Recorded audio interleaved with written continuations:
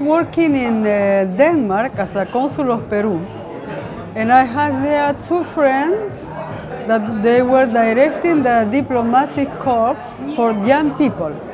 And one was the counselor of the American embassy, and the other was a counselor of the Spanish embassy. And the funny thing was, I was very close friend to both of them.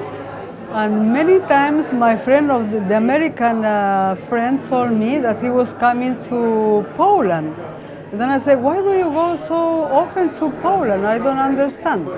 And he told me it's because we are supporting uh, Lech Wałęsa. And that was in the year uh, 1978. And I was so surprised. I said, it's the first time uh, I heard this name. Who is uh, Lech Wałęsa? I asked him.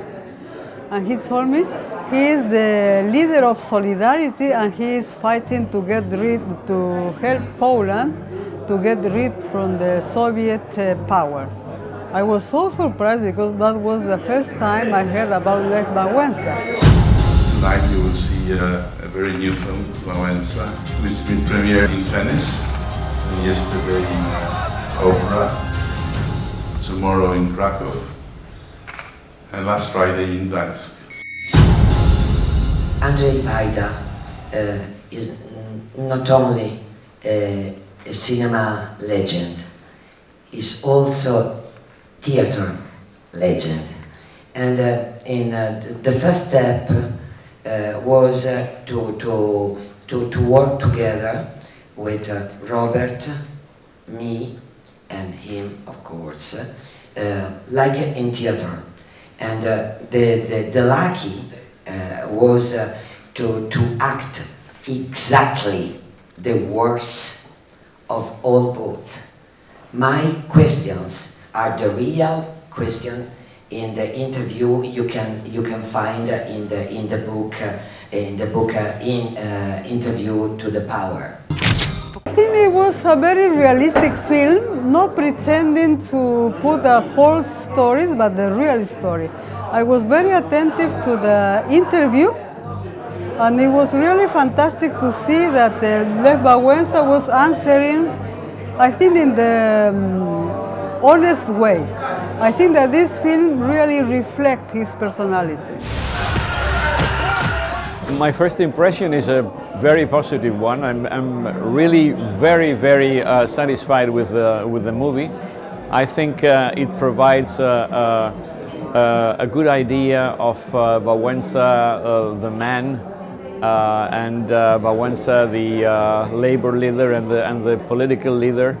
And the, um, um, it uh, presents him with a human face. It's, it's not um, a movie with uh, uh, it has heroics in, in many in many in many ways, but it's not a portrayal that uh, is trying to um, to uh, um, well not create because he's already been he's is a myth already, but but but uh, provides the the uh, the human side of of.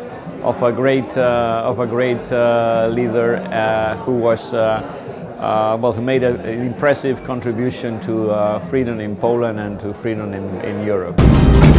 Amazing movie. It works, I think, at least at three levels. You know, one is, of course, the historic level. It's so important for this story to be told and to be retold many times.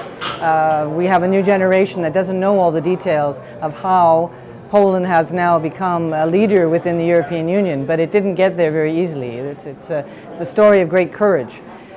It's also an incredibly, uh, I think, eternal story about someone who has leadership thrust upon them. And that's what I saw with Mr. Wałęsa. This was somebody who had the attributes of a leader, but it was the timing and he had the courage of his convictions to take up the cause. Many others would have shunned. I mean, the cost, because he knew what had happened in the 70s. He knew the cruelty and the, and the, the punishments that could be inflicted, and yet despite that, he took it on. But he also had these amazing instincts. This is what I learned from the movie, I think.